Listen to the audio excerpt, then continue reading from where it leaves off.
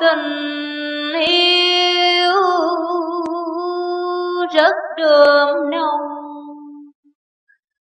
yêu đời yêu lần, cả non sông Nam mô Bổn sư Thích Ca Mâu Ni Phật. Nam mô A Di Đà Phật. Để tiếp theo chương trình thuyết giảng buổi hôm nay hân hạnh kính mời giáo lý viên Phan Chí Tâm đến diễn đàn tiếp đề tài tu huệ tính diệu dụng của trí tuệ. Xin trân trọng kính mời giáo lý viên lên diễn đàn để làm tròn phận sự. Nam mô Bổn sư Thích Ca Mâu Ni Phật. Nam mô A Di Đà Phật. Kính thưa quý vị, cao niên, kỹ trưởng trong đạo. Kính thưa quý vị đại diện cho các ban trị sự xã phường thị trấn trong và ngoài địa phương của huyện An Phú à, đồng để đây tham dự.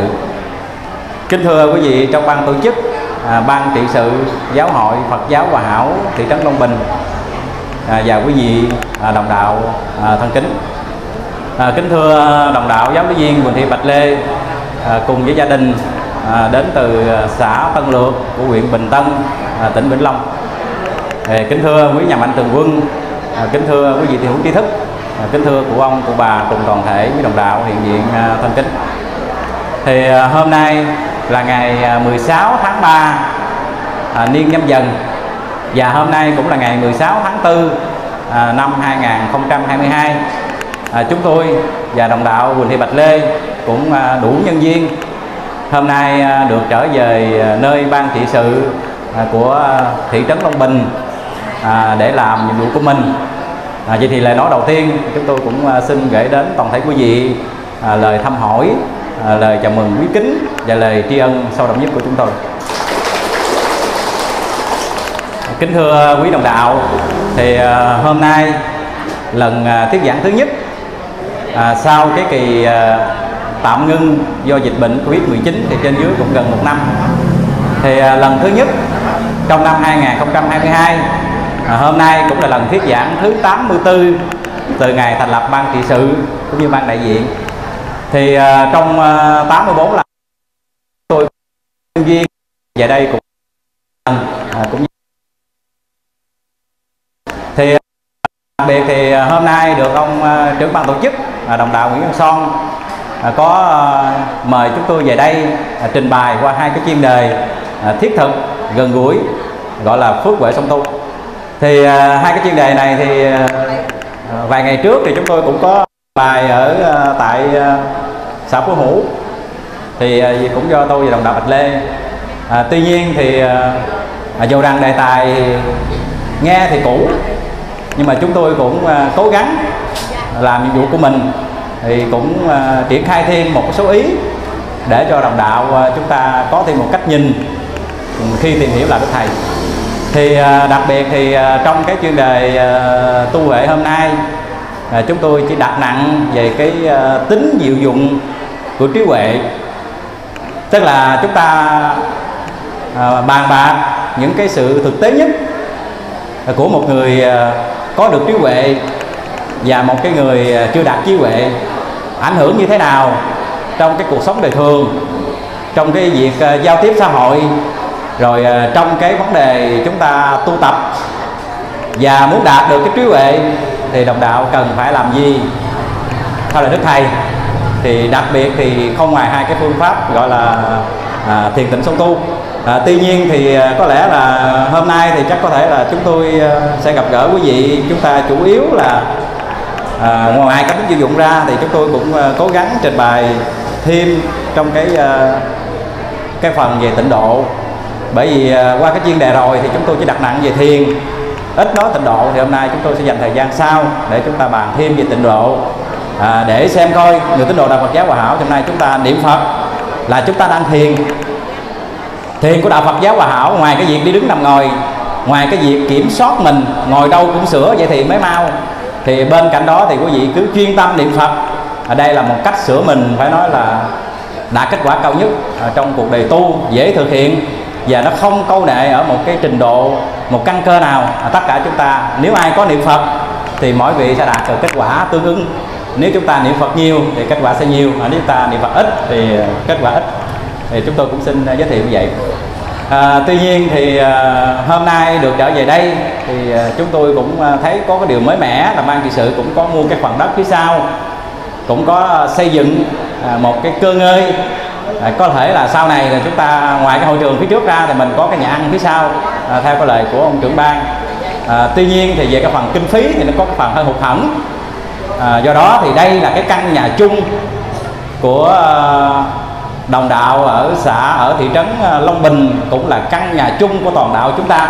Mà hôm nay thì quý vị xa gần ờ, trên dưới khoảng 300 vị ờ, tập trung về cái căn nhà chung của mình đoàn kết để cùng nhau chia sẻ qua cái lời dạy đức thầy của tôi và giáo viên Nguyễn Thị Lê.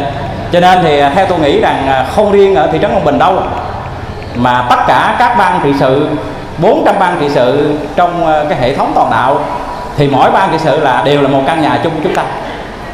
Căn nhà chung chúng ta.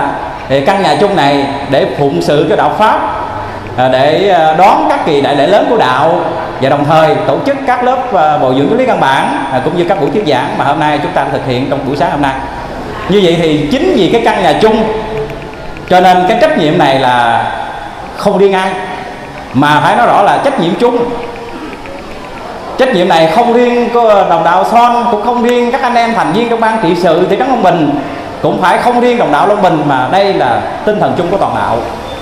Cho nên là khi chúng tôi nói như vậy để đồng đạo chúng ta à, suy gẫm thì ít nhiều à, khi nói là căn nhà chung rồi à, nhất là chúng ta thương yêu lẫn nhau như con một cha thì mình cũng phải có một cái trách nhiệm ủng hộ anh mình ủng hộ em mình để xây dựng tái tạo một căn nhà chung cho nó được à, có cái phần à, long trọng à, có cái phần à, rộng rãi à, để rồi phụng sự đạo pháp. Cái quan trọng là phụng sự đạo pháp.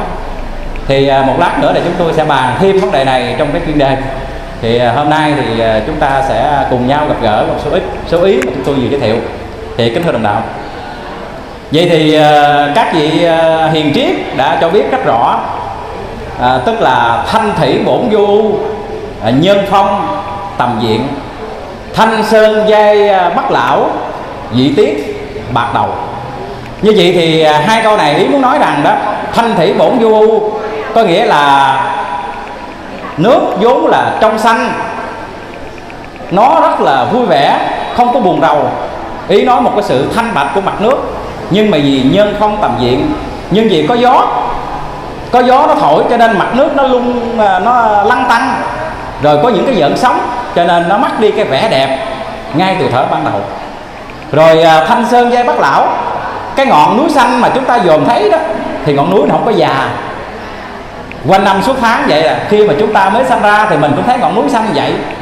Mà khi chúng ta năm 70 tuổi nhìn cũng thấy ngọn núi xanh như vậy gọi là thanh sơn giai bắc lão.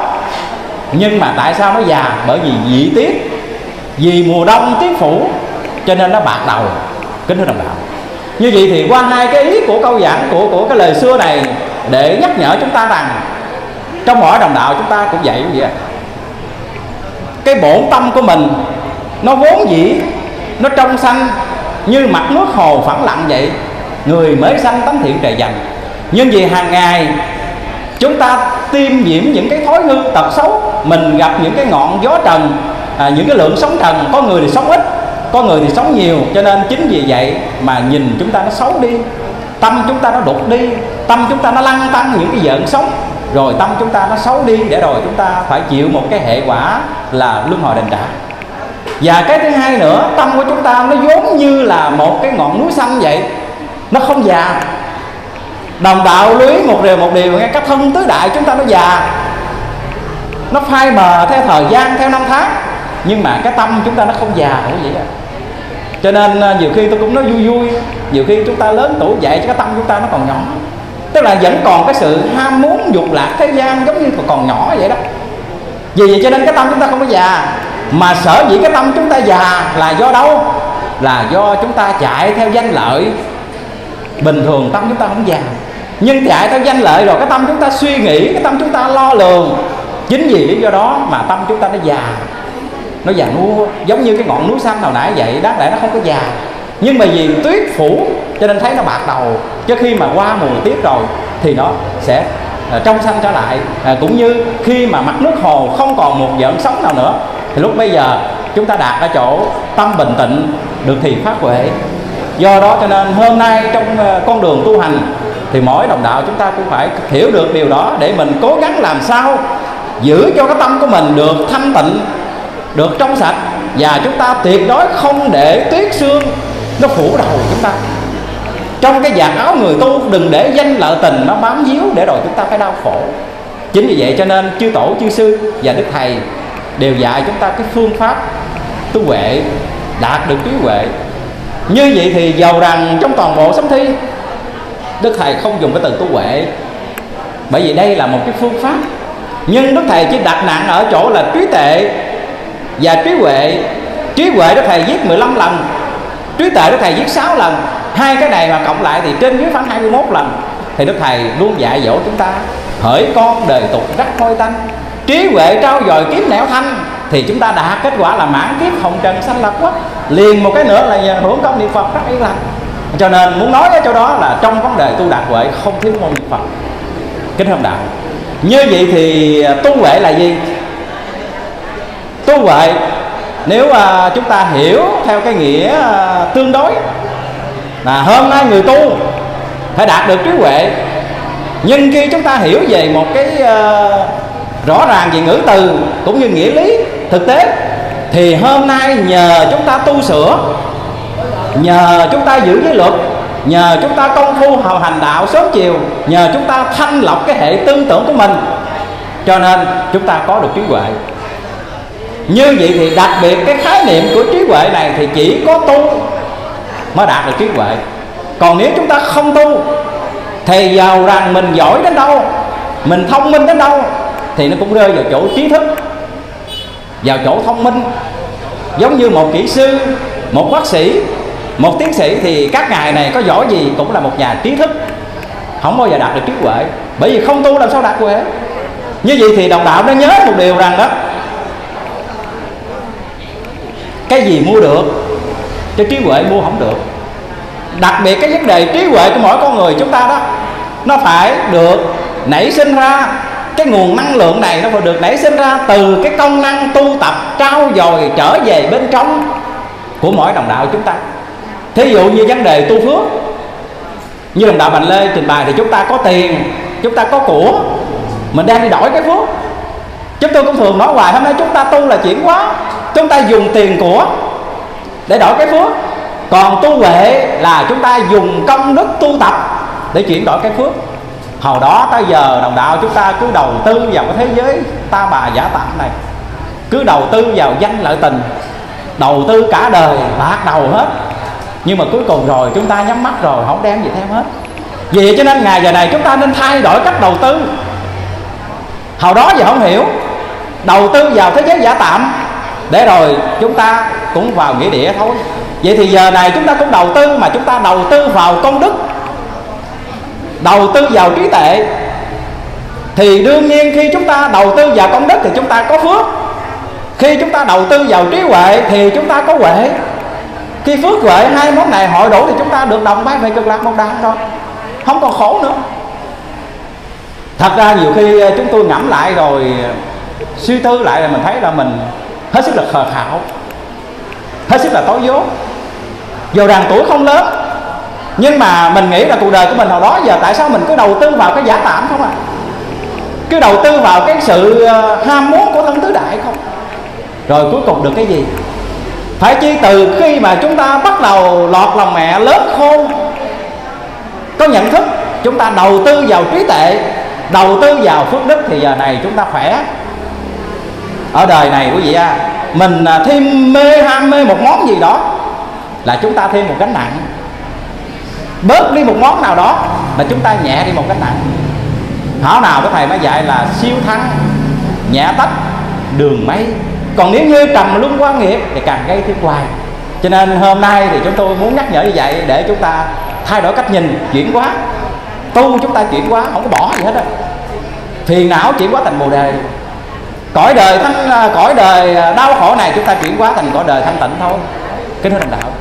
Vậy thì nói vòng vòng nãy giờ trí huệ là gì? Thì trí huệ ở đây à, là một trong lục độ vận hạnh của chư bồ tát. Đây là cái phương pháp tu tập để đạt quả vị bồ tát. À, nếu nói theo lĩnh vực tam thừa à, nếu hiểu theo ngũ thừa của đạo phật thì đây còn gọi là đại thừa cái phương pháp mà hôm nay à, chúng tôi và giáo viên lý viên bạch lê trình bày cùng quý vị ở đây là cái phương pháp bồ tát hạnh đó. À, tôi hy vọng rằng à, cả hội trường này à, khi mà chúng ta hấp thụ qua các cái chuyên đề này thì tất cả chúng ta thành bồ tát. Mà không phải là hy vọng. Hiện tại chúng ta đã tập làm bồ tát rồi. Ở đây bà con đồng đạo chúng ta đã làm bồ tát rồi. Không nại thân mình làm các công tác từ thiện xã hội. Không nại thân mình giúp đời là chúng ta là bồ tát còn gì nữa nhưng à, ngặt một điều cái sự bồ tát này không có được à, xuyên suốt mà đôi khi chúng ta làm vắng đoạn.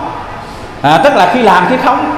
À, khi thì tu hành tinh tấn khi thì chúng ta vẫn còn ô nhiễm cho nên là chúng ta nói nôm na là nửa phạm tục mà nửa bồ tát. Vậy thì hôm nay chúng ta tu làm sao? Mà mình dẹp bỏ đi cái nửa phạm tục còn lại. Chúng ta làm sao phát triển cái tâm tánh lành của mình từ vật chất bên ngoài đến cả cái nội tâm bên trong để chúng ta hoàn mãn hạnh bồ tát bởi vốn vị chúng ta là phật mà. Là phật sẽ thành là phật tương lai. Vốn dĩ chúng ta là cái mặt nước trong mà. Vốn dĩ chúng ta là một cái ngọn núi xanh mà. Nhưng tại ô nhiễm cho nên chúng ta mới đến ngày giờ này. Do đó thì trí tuệ là một cái ờ, ờ, phương pháp trong lục độ. Nó gồm có bố thí trì giới tinh tấn thiền định và trí tuệ. Ở đây là sáu phương pháp trong lục độ. À, trí tuệ là cái sự giác biết à, trực diện nhân tâm. Chữ trí là thông đạt à, về tục đế. Chữ à, huệ là chúng ta thấu suốt về chân đế. Kính thưa đồng đạo phải nói gọn vậy đó. Như vậy thì cái tính diệu dụng của trí huệ như thế nào? Mà hôm nay à, các vị à, sư tổ các vị chư sư cũng như đức thầy chúng ta thì luôn luôn kêu gọi ung đúc. Tất cả đồng đạo chúng ta thực hiện cái vấn đề này. Vậy thì à, chúng tôi à, xin liệt kê một số vấn đề về cái tính diệu dụng của trí huệ bây giờ đồng đạo à, tinh lý một chút. Chúng ta nhìn gia đình của mình rồi nhìn những người xung quanh của mình hàng xóm của mình đó. Thì chúng ta thấy cái sự à, ăn ở cư xử nó có khác. Cách ứng xử hàng ngày cách sinh hoạt hàng ngày nó khác.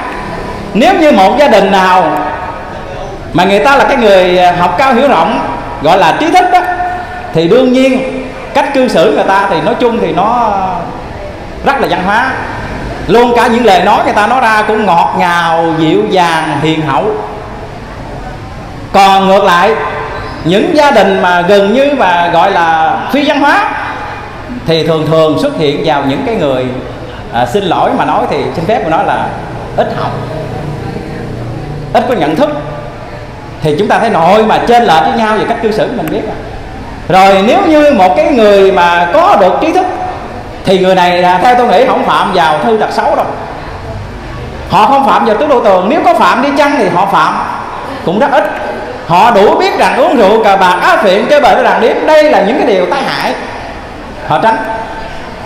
Còn những cái người mà không có trí huệ những cái người ờ, rơi vào mê xí thì họ cứ thích là họ làm. À, theo cái ờ, bản năng ô nhiễm theo cái sự ờ, tập tành à, trong cái cuộc sống sinh nhai hàng ngày họ không cần phải suy nghĩ họ cứ làm mà, gọi là nhắm mắt đưa chân thích là làm, tội nghiệp kệ nó đi. Rồi một ngày nào đó mà lỡ xuống địa ngục rồi thì hối hận. Vậy thì nội mà cái cách cư xử thôi. Chúng ta thấy à, đồng thời một sự kiện, đồng thời một tình huống. Như vậy cái người mê si ứng xử tình huống này khác. Mà cái người trí thức, cái người mà có được một phần trí huệ ở đây chúng tôi không dám khẳng định bởi vì chúng ta có trí thức thôi, mình chưa đạt được vấn đề thì sẽ ứng xử khác. Hai vợ chồng quá mê si sát với nhau, tự lộn, cãi cọ trong nhà bầm bầu giống địa ngục trần gian thì bên kia hai vợ chồng trí thức. Cả tháng, cả năm chưa nghe ta cãi lộn một câu nữa thì đây là cái thực tế đâu thực tế rồi cái thứ hai nữa, cái tính sử dụng thứ hai là cái sự nhận định. Tôi à, chỉ nói nôm na trong vấn đề làm phước thôi, để nay chúng ta bàn phước huệ. Cái người sáng suốt người ta làm phước có khác với cái người tâm tối. Ở đây chúng tôi chỉ phân tích cho thật ra quý vị có làm phước là tốt rồi. Nhưng mà chúng ta làm phước chúng ta bài toán vậy đó. Làm phước có lời, mà nhiều khi làm phước cũng lỗ nữa, hoặc là ít. Thí dụ bây giờ ở đây có các ban trị sự. Nếu như mà chúng ta là người trí thức, chúng ta có trí huệ thì cái việc làm phước của chúng ta, cái làm từ thiện của chúng ta, trước tiên đó là mình nhìn trong thành viên mình trước. Nhìn trong bảy anh em mình coi, chính anh em mình coi. Các anh em giúp việc ban sự, có ai nghèo khổ không? Có ai mà nhà cửa mà hụt hẫng không chúng ta? Đóng góp liền. Bởi vì nếu như mình giúp được cho người này, thì người này hiện tại là đang giúp ích cho đạo. Lời nhiều. Đồng tiền bỏ ra là có lời. Còn nếu như mà ngược lại cái người mà không suy nghĩ đó có tiền nhiều muốn làm gì làm mà thôi bây giờ tôi đi cứu trợ như vậy là năm bảy trăm phần quà. Nhưng quý vị nhớ một điều nha quý vị khi mà trao tay cho cái người mà chúng ta cho đó giàu rằng người đó đáng cho. Nhưng mà chưa chắc họ về họ sử dụng cái đồng tiền đúng mục đích. Chưa chắc họ về họ sử dụng gạo của họ đúng mục đích. Sắp tới này à, hình như là ngày 19 tới tôi cũng có lịch phân công ở tại xã Vĩnh Trường. À, tôi và đồng đạo Quỳnh Lương thì tôi sẽ trình bày đề tài tu phước thì nói rõ hơn vấn đề này. Như vậy thì nhiều khi mà chúng ta làm từ thiện mà phước nhiều, mà nhiều khi chúng ta làm từ thiện phước không có nhiêu. Cho nên vấn đề này ở đây có rất nhiều các ban sự, và chúng tôi đưa ý này, quý vị cũng suy nghĩ. Mình cho gạo, cho lúa, người ta cho tiền, người ta người ta xài chút hết. Cái lời này lợi nhuận không cao. Tôi cũng cho mà tôi không cho tiền cho gạo hoặc giả tôi vừa cho tiền cho gạo mà tôi vừa cho cái việc khác nếu là người có một cái kiến thức, có suy nghĩ. Là bây giờ tôi à, làm cái việc à, từ thiện, ví dụ như à, bồi lộ đắp đường nè làm cầu nè, thì làm này không ai gạt tôi. Chắc ăn là phước, mỗi người đi ngang là chúng ta được phước. Phải không có gì hay hoặc là hôm nay chúng ta đóng góp vào ban trị sự, vào cái cơ sở vật chất, thì vấn đề này là vấn đề lời to giả sử như hôm nay là tôi hỗ trợ cho đồng đạo ờ, hai son là một triệu đồng để mua đất phía sau đó, cắt dựng phía sau đó. Thì mỗi cuộc thuyết giảng như vậy, đồng đạo đến đây dự là tôi có một miếng phước. Mỗi cuộc thuyết giảng như vậy là tôi có một miếng phước. Mỗi kỳ đại lễ như vậy, có người ta đến đây để trưng dụng cái mảnh đất này là tôi có phước cứ vậy mà phước hoài, phước mãi, phước vô lượng đó. Mà đồng đạo chúng ta nhiều khi không nhìn vấn đề này. Cứ nghĩ là tôi có tiền muốn làm gì làm mà chúng ta mà đầu tư vào đây rồi là không bao không bao giờ chúng ta lỗ mà càng ngày phước càng nhiều đồng đạo à. Không lỗ. Mà ngày xưa các cô động đầu tư vào cái vườn của thái tử kỳ đà là phải nói phước vô lượng, phước đến nỗi mà được giải thoát luôn đó. Còn gì bằng? Thấy không? Có gì? Cho nên ý chúng tôi muốn nói nếu trong ban trị sự mình cái gì cần mình ưu tiên đi. Chúng ta lo cho chúng sanh ở gần trước đi. Khoan lo chúng sanh ở xa. Cái người mà có trí thức đó, người ta làm phước đó, người ta dồn trong ban trị sự người ta người ta dòm anh em ruột thịt người ta có ai nghèo khổ không? Ta giúp đỡ trước rồi mới tới người bên ngoài. Đúng với câu là việc nhà quý bạn đã sống. Hiệp nhau làm phước đó lòng nguyên nhân. Nhiều khi việc nhà chưa sống mà chúng ta vì vì, vì cái gì? Danh tiếng. Tôi uh, muốn đi làm gì nó có tiếng. Tôi hỗ trợ cho đồng đạo uh, một trăm phần quà đi làm phước vậy để tên của tôi ai cũng biết hết. Vậy thì chúng ta nếu mà mình làm phước lấy tiếng đó, thì chúng ta hưởng cái phước này không? Không không không, không được trường tồn. Phước này ở một góc độ đỉnh điểm rồi đó thôi. Những cái mà tôi nói nãy giờ đó thành ra những cái người mà còn mê si chưa trí huệ đó họ, hầu như là họ làm phước họ chỉ nghĩ vào cái vấn đề à, hữu lậu còn phiền não. À, làm phước để có cái tiếng à. Được cái tiếng phan chí tâm. Mà không ngờ cái tiếng này là cái tiếng giả có gì là phan chí tâm? Phải không? Còn những cái người mà đức thầy dạy là nhờ công tu niệm âm thầm của ai đó. Cái việc này phước lớn vậy lắm, phước thành phật thành bồ tát đó. Mà ngạc bộ nổi là chúng ta không làm. Không có tiếng tâm không làm. Tôi không làm gì thôi làm cái nổi tôi mới làm. Ai coi cái nổi gì cực lạc không muốn mà muốn cái nổi ở cõi ta bà này thử coi cái gì nghĩ giùm tôi đây đầu tư vào cái vấn đề giải thoát không đầu tư cứ đầu tư vào cái giả tạm hoài. Đầu tư thân giả này hoài đầu tư cái, cái thế giới tội lỗi này hoài để rồi chúng ta lúc ngồi định trạng như vậy sở dĩ chúng tôi đưa ra ý chỉ đó là để chúng ta thấy được cái người có nhận thức, cái người có học phật, cái người có trí huệ thì họ làm từ thiện và làm phước khác với cái người mê si. Thì nói gì đồng đạo đủ hiểu đâu. Chúng ta nghe ông chí tâm muốn nói rồi suy gẫm nào đó giờ có không? Có. Nhiều khi là chúng ta làm từ thiện xong về phước lưng thì họ ăn chơi cờ bạc, đó, rồi họ không lo làm ăn, lười lao động. Họ đâu có sợ nghèo, đâu có sợ đói nghèo có ban nhiêu sự lo, đói có đồng đạo lo lo gì? Rồi cuối cùng lại rồi chúng ta cuối cùng bị ta lợi dụng. Bị người ta lợi dụng vào cái niềm tin, vào cái sự tín ngưỡng, vào cái lòng lành của mình. Vậy thì phước không cao. Ha tại đó là cái ý tiếp theo. Rồi cái ý tiếp theo nữa trong cái ờ, vấn đề diệu dụng của trí huệ. Khi một người mà có trí huệ rồi thì người ta không có dạ gì làm điều ác, đâu có gì à. người ta làm lành không ạ bởi vì khi một người có trí huệ rồi, người ta hiểu được hôm nay người ta làm cái nhân gì. Là mai mốt thì ra quả đó thôi. Cho nên không dạy người ta làm điều ác đâu. Cho nên không cần mà chúng ta đạt được bồ tát. Bồ tát là sống trong huệ mạng, bồ tát là sợ nhân, chúng ta là sợ quả với chúng ta còn vô minh. Chỉ cần đồng đạo tin mắt một chút, tin ý một chút, khi chúng ta có học Phật, thì mình đủ biết rằng kiếp trước mình là ai.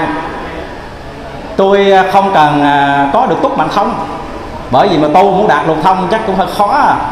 không có dễ đâu mà thôi, giờ mình mình suy đoán bằng cái cái linh tính của mình theo lời đức thầy, đức đức phật dạy nếu như à, chúng ta có trí huệ, cái mình nhìn lại, mình biết, mình muốn biết mình kiếp trước là ai à, chúng ta biết liền. Muốn biết tương lai chúng ta được về đâu đó, cũng biết luôn. Chúng ta dục tri tiền thế nhân, kiến kỳ hiện tại quả. Dục tri hậu lai quả, kiến kỳ hiện tại nhân như vậy khi mà cái người người ta người trí rồi đó người ta nhìn cái quả hiện tại mình được sinh ra trong gia đình giàu sang đạo đức hay gia đình nghèo khổ.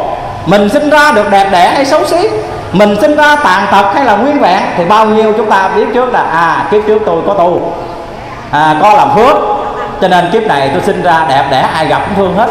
À, trong một gia đình giàu có thông minh mà lỡ như mà kiếp này rồi sinh ra khổ quá khổ nào là à, vợ con bồng bế nào là nghèo khổ nhà cửa phải nói rõ là siêu vẹo gì đó. Như vậy thì khi mà chúng ta rơi vào cảnh là mình biết là à cái trước tôi không tu. Cho nên à, nói đến đây là chúng tôi ở đây quý vị cũng đã hiểu mình rất nhiều rồi. Cái gì không biết à, tôi và đồng đạo bạch lê là tiền kiếp là tín đồ của thầy đó. Cũng tu dữ lắm á. Tu dữ lắm đó nhưng mà chắc cũng còn mê à, chị em tôi chứ cũng còn mê mới trở lại nè. À, không có gì. Mình biết là mình có tu rồi cho nên kiếp này khi mà sinh ra khi mà gặp đạo là chúng ta giác ngộ tu hành là làm nhiệm vụ liền. Vậy thì mình là kiếp trước đã thề cận với thầy rồi. Và một điều hơn thế nữa đồng đạo nè ở trong hội trường này ai cũng muốn biết rằng là mai mốt tôi được thành cái gì.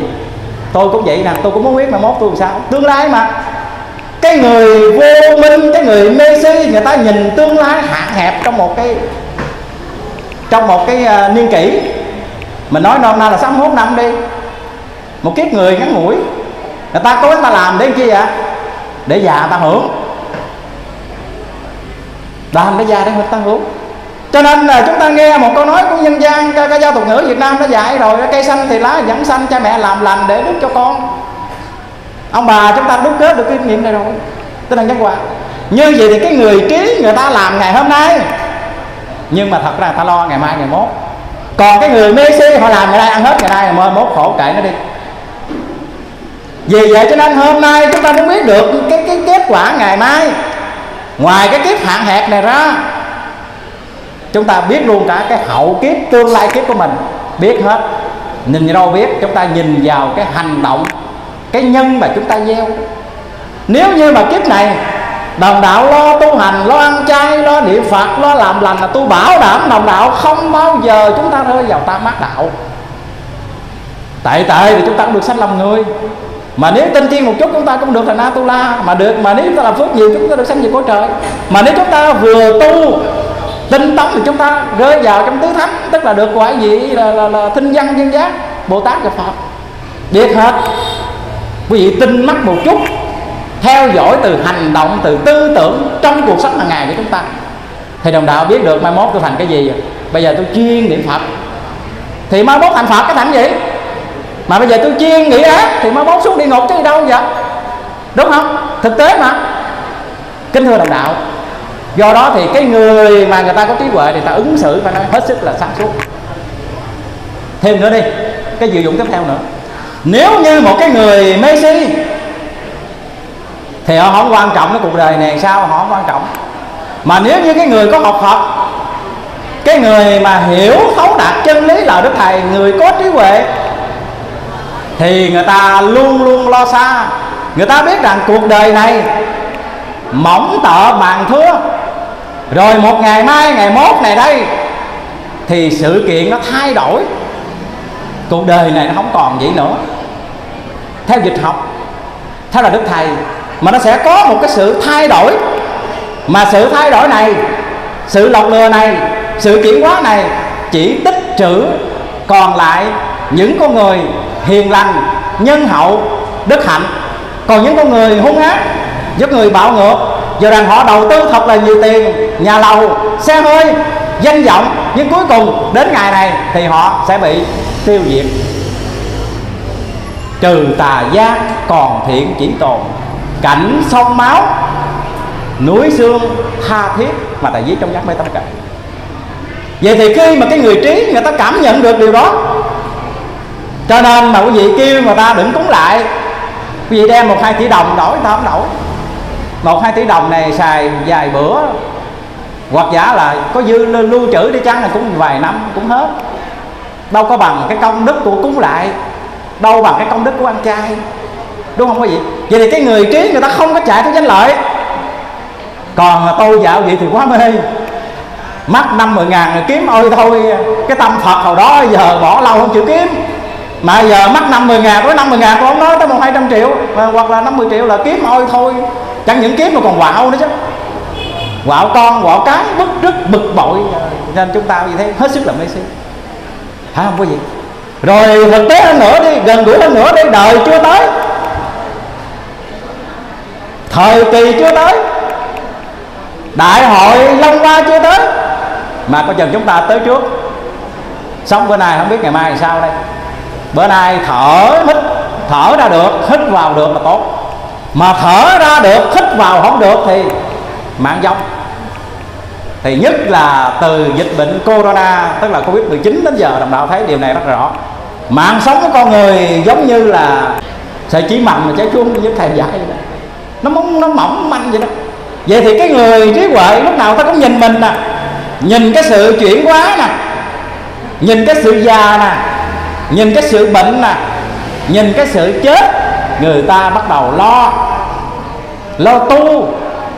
Tu riết đi, để không kịp bây giờ còn cái thân này tu, gọi là tu tắc mà. Còn cái thân này tạo phước nó dễ dữ lắm mà không có chịu làm. Để rồi, mất cái thân này rồi. Bằng linh hồn rồi, chúng ta tu khó dữ nghe mà quý vị không nghe đức thầy dạy sao? Mất cái xác này là tu vòng, còn cái xác này là tu tắc. Vì vậy cho nên cái người trí người ta không có cần màng về danh lợi đâu, đồng đạo à. Mà người ta nhìn vào bản thân người ta, cái sự thay đổi trong cơ thể người ta ta đủ biết ta cần phải làm gì đâu. Nó nhiều vấn đề lắm. Nhưng ở đây chúng tôi chỉ đưa ra một số nét thôi. Trong cái vấn đề diệu dụng giữa cái người trí, cái người có trí huệ và cái người vô minh, như thế nào? Nhiều khi chúng ta không cần nói tới gì đời tu mà chỉ cần nói trong cuộc sống xã hội thôi tin mắt một chút, thì chúng ta sẽ cảm thấy được cái người mà trí thức lúc nào người ta sống cũng khỏe. Ăn trên ngồi trước ha cái ờ, bậc thượng lưu xã hội mà. Ở đây tôi không nói tới ờ, tu hành, không nói tới luật ờ, tới cái tinh thần về tôn giáo. Còn thường thường thì bậc hạ lưu là những cái người phải nói rõ là tâm tối. Cho nên là chúng ta hôm nay đầu tư vào trí tuệ là phải nói là lời à. chẳng những hưởng một kiếp này, mà chúng ta hưởng được tới muôn thu. Hưởng chừng nào về có phật gần đức phật a di đà ngồi tòa sen, tỏ liên đài đó. Công đức đến đó đó mới viên mãn. Vì nãy giờ giới thiệu nhiều quá mà cái quan trọng là chúng ta làm gì? Làm gì? Để có được trí thức. Làm gì? Để có được trí huệ. Không phải là không ông trời ông ban cho chúng ta là trí thức đâu. Đâu phải là không ông trời ông ban cho tôi có giọng nói giống vậy. Đâu phải là không ông trời ông cho chúng ta này, ông cho cho chúng ta kia. Không có được. Đức phật cho còn chưa được mà đức phật thấy nghiệp chúng sanh nhiều quá, thấy chúng sanh mê si quá, đức phật cắt lên một cái tiếng than như thế này nè. Hỡi các người, các cái loài cừu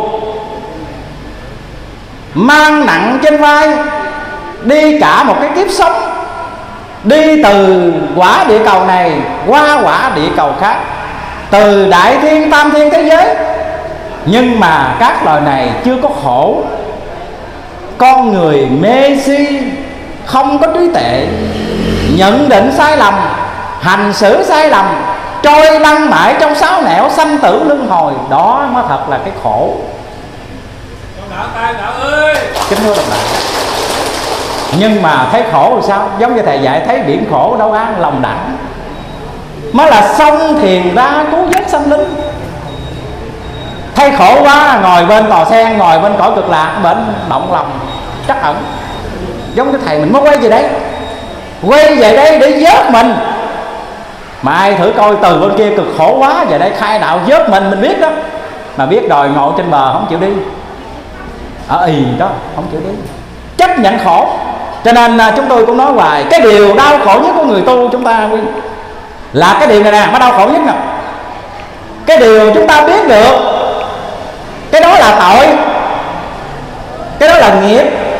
Cái kia là phước. Cái kia sanh công đức. Biết đó. Mà biết để đó. Biết tội.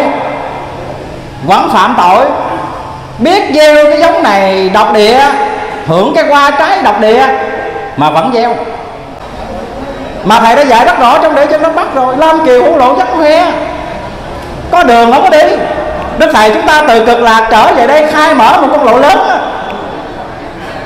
cứ một đường thẳng bẳng mà mới ôi chừng đó nó là mầu nhiễm mà chúng ta không đi. Cứ lầm lầm lủi lủi đi vào trong bóng tối hoài hả quý vị? Tối ngày đi cứ đi trong kẹt hoài rủ đồng đạo bữa nay đi dự thuyết giả. Thôi nay tôi bận quá tôi kẹt quá. Thôi bữa nay là cái ngày à, ngày rằm. Nghe đâu ban trị sự thị trấn long bình sửa chữa lại khang trang lắm. Chị em mình ở đây đọc đoạn giảng ngày rằm thôi chị ơi, chị đi đi, tôi mắc kẹt ai thử coi con đường rộng không đi, có lũ lũ trong kẹt đi không? Bao giờ thấy không nào? Có! Những cái mà chúng ta trình bày là nó có hết à bây giờ. Nó có hết trong đời tu của mình. Cho nên cái mà chúng tôi cũng nói đây, bản thân chúng tôi cũng vậy. Cô không khác gì đồng thảo đâu. Biết hết đó nhưng mà biết là biết vậy đó cho là không được nhiêu ở đây là tôi tự nói với bản thân mình luôn à tự nhủ mình á bởi tôi à, mấy ngày trước có nhớ cũng dùng này, có có lên trình bày nói là bây giờ đồng đạo biết 10 là làm một thôi là đắc đạo rồi. Đàn này biết 10 mà làm à, chưa được một. Biết 100 à, một trăm phần trăm mới cho làm mà chưa được hai, ba nữa sao đắc đạo được. Cho nên hảo nào 100 mới đã nói thôi 10 người. Hả đồng đạo? Nó không hết. Như vậy thì trở lại qua cái vấn đề, chúng ta làm gì để có được trí huệ? Cái này là chúng ta đã bàn nãy giờ nói vòng vòng mà chưa nói vô đây vậy thì căn cứ theo kinh điển căn cứ lời đức thầy muốn có được trí huệ chúng ta phải tu. Không ai cho. Đức phật không cho được. Đức phật chỉ ban đạo dạy đạo chúng ta nghe ổng mình tu thì mình đi à. Bước xuống thiền đi còn không tu ở đây. Phật không ép. Đức phật chỉ rõ con đường thiện ác hai con đường tỏ rõ hai hai hướng đi đó. Thì chúng ta muốn đi hướng nào là quyền chúng ta. À, phật không cho được. Cái gì cho được? Trí huệ cho không được kính thưa đồng đạo phải tu như vậy thì muốn đạt được trí huệ, hai pháp tu căn bản nhất theo nhà phật cũng như lời đức thầy là tu thiền và tu tịnh. Đức thầy có dạy tu thiền, hành đạo thiền cấp cấp sớm phía, lòng thương chúng thiên đăng đủ thế. Mà nào khác chở chưa đồ ấy bán rẻ rẻ kẻ hỏi mua trong bài năng thớt. Đức thầy đức thầy có triển khai pháp thiền, nhưng mà ngặt một nỗi đồng đạo chúng ta ít có hành theo người nghe đạo lý thì mê kẻ lại nhúng trời, nó lão kiếm cơm cho nên nó thầy mất than, giống như mà buổi chợ trưa, đã chợ trưa người ta về hết rồi, mà còn bán ế như quý vị đồ ế không có phải không, có gì? Rồi tịnh độ thầy cũng dạy là môn tịnh độ là phương cứu cánh. Cái chữ phương này là phương tiện. Cứu cánh là một cái kết quả, phải nói rõ là cùng tột không một sự lựa chọn nào khác, gọi là cứu cánh. Thì đó là hai phương pháp thiền định thầy có dạy hết. Dàn trải trong sống thiền của ngài thì trước tiên chúng ta trình bày pháp thiền trước. Như vậy thì thiền là gì? Chữ thiền là tư duy, là tĩnh lự, là lặng lẽ tâm mình tập trung suy gẫm vào một đề yếu. Thì đó là chúng ta hiểu về từ ngữ, về phương diện từ điển, về phương diện từ ngữ còn về phương diện tu tập, thiền ở đây, tất cả đồng đạo chúng ta, ai ai hãy ráng xét mình. Nếu còn tánh xấu thì rinh ra ngoài, đó là thiền đó đồng đạo về phương diện tu tập. Như vậy thì thiền của đạo phật giáo hòa hảo không câu nệ hình thức, không câu nệ ở thời gian, mà hình thức nào, thời gian nào căn cơ trình độ nào chúng ta cũng hành thiền được hết. Chứ không phải mà thiền là phải đợi tới cái giờ tôi mới ngồi thiền. À, phải đợi tôi thông suốt gì đó tôi mới ngồi thiền thì xin thưa không phải. Thiền phật giáo hảo không phải vậy. Mà thiền phật giáo hòa hảo có thầy dạy chúng ta là ngồi đâu cũng sửa vậy thì mới mắn cái người trình độ thượng căn thì họ hiểu về thượng căn họ trao sửa về cái phần hưởng căn cái người trình độ trung căn thì họ cũng trao sửa về cái trình độ trung căn của họ. Họ hiểu tới đâu họ làm theo tới đó. Rồi cái bậc hạ cái bậc phải nói rõ là gần như là mình nói uh, nôm na là trình độ rất thấp thì họ cũng có thể thiền được. Họ cũng dồn lại họ cũng trao sửa cho họ được. Thì đó là thiền bậc giáo hòa hạnh mà cái yếu tố quan trọng đặt ra tại chỗ này thay là đức thầy. Cái quan trọng như tôi nói là ai ai hãy đáng xác mình đó. Bậc hạ cũng vậy bậc trung cũng vậy bậc thượng cũng vậy tất cả đồng đạo chúng ta ai cũng đều xét mình. Xét kia ạ? À, xét để coi coi mình có ác có xấu có tâm tối không? Xét coi cái tâm mình bây giờ này cái nó nó nó nó nó gần như là sống trần nó nhiều quá. Cái tâm mình giờ này cái ngọn núi xanh này nó bị tuyết phủ rồi không có còn núi xanh mà nó là núi tuyết rồi thì chúng ta bắt đầu lọc lừa thay đổi. Thấy không có gì? Còn ngược lại nếu chúng ta không xét mình thì giàu rằng mình là thiện căn mình là cái người thông suốt lão thông. Mà ngược lại tối ngày chúng ta chỉ xét người khác không. Lão thông mình không lo tu cho mình mình thông suốt rồi mượn một số vốn gì kinh điển đó. Giống như thầy dạy đó là, là, là, là những người kinh sử lão thông. Mà không sửa tánh bỡ lòng còn mế vậy có được cái gì đâu. Cái thông suốt cái lão thông, cái thế trí biện thông thì gần như nó rơi vào ở chỗ là phương tiện. Cái quan trọng là sửa mình này. Có quan trọng là rác nhà mình thì mình quét. Cứ đi quét nhà người ta không à. Sáng thức dậy là quán cà phê là cứ quét rác nhà người ta. Năm ba đồng đạo tập trung lại thì cứ quét rác nhà người ta. Chị a gì, chị b kia, chị c nọ. Nhưng mà không ngờ nhà mình rác đầy hết trơn, không ai quét. Không ai quét nha mà người ta chỉ, chị ơi, nhà chị rác chửi người ta liền. Sao chị nói xấu tôi vậy đó? Nó ngộ vậy đồng đạo à. Người ta chỉ rác nhà mình đó, ai mà chỉ tôi là tôi mang ơn rồi đó dữ lắm. Mà đằng này người ta chỉ mình là mình giận người ta luôn đó. Người ta chỉ mình là cắt điện thoại luôn á. Người ta chỉ mình là xóa bạn zalo, facebook luôn á, từ luôn á, gặp mặt không dòm đó. Ai thử coi người ta chỉ cho mình cái thói hư tật xấu, mà mình lại đáng lẽ ra mình quỳ xuống cảm ơn chị nha. Nhờ chị chỉ, nhờ anh chỉ mà vậy mà tôi sửa mình.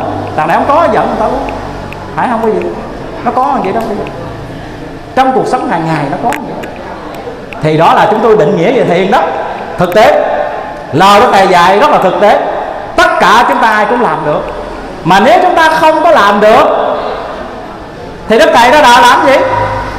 Một đức thầy ra đời là thể quyết một lời ta độ tặng. Một đức thầy viết sấm thi để độ hết tất cả chúng ta nếu chừng nào khai thông đại đạo đúc tự bi đội tất cả nhân gian, bể trầm lưng khô cạn sáu đàn độ hết. Tăng sĩ mới trở về nó thanh tịnh thầy viết rất rõ khi trao lại cùng ông tăng. Rất rõ như vậy. Cho nên là chúng ta phải biết vậy, mình thương thầy. Vậy thì thầy dạy là chúng ta làm được. Mà làm không được, tại chúng ta không làm. Phải không có gì cái chuyện xét mình nó quá dễ rồi nhưng mà thấy vậy đó, chứ gần như chúng ta quen cái tánh cũ của mình. Cái tánh mà tập nhiễm đó, cho nên là chúng ta cứ biết quét rác người ta thôi.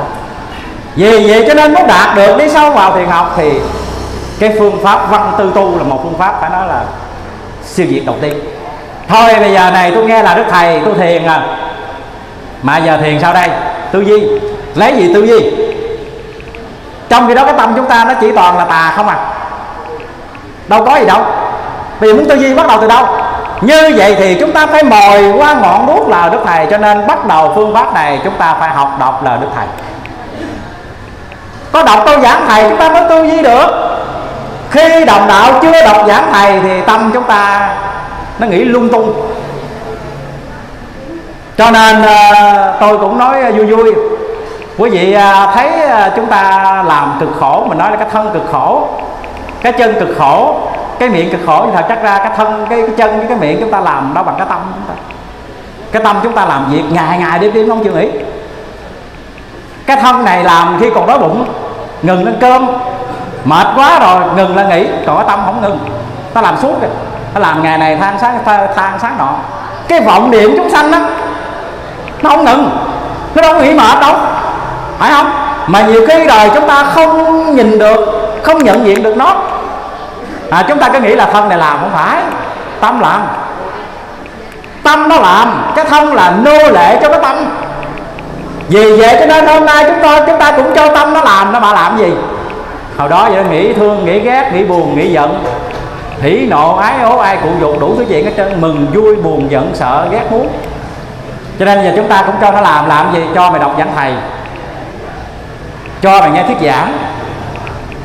Cho mày nghe kinh nghe kể coi sao ông đạo không tin tôi, về làm thử coi. Đi làm về nhà cứ lấy giảng thầy đọc hoài, cứ nghe giảng thầy hoài. Tôi bảo đảm quý vị nghe, phải nói rõ là cần cù bù phong minh đó nghe. Ông cha ta đã nói rồi đó à cần cù bù phong minh đó là phải đơn giản đâu à. Ngày nào cũng xem giảng hết á, ngày nào cũng đọc giảng hết á, tôi bảo đảm quý vị thời gian bị thông hơn tôi và chị bạch lê. Không tin tôi làm thử. Tôi, chị bạch lê chị lên đây đứng nói là nhờ gì? Nhờ lời đức thầy. Mượn vốn đức thầy đặng đi buôn chứ chúng tôi có vốn liếng gì đâu quý vị. Phải không? Cái vấn đề mà hay ở đây là không phải là tôi tôi tôi, tôi hay. Mà đức thầy chúng ta quá hay. Lời đức thầy quá tuyệt vời. Chỉ cần lấy hai câu bốn câu nói một hai tiếng đồng hồ chưa hết. Chúng tôi là những người mượn. Cho nên chúng tôi mới chia sẻ cho quý vị đó phải nhận diện đúng để quý vị cũng mượn vốn giống như chúng tôi. Đã nói mượn rồi là phải trả nghe không?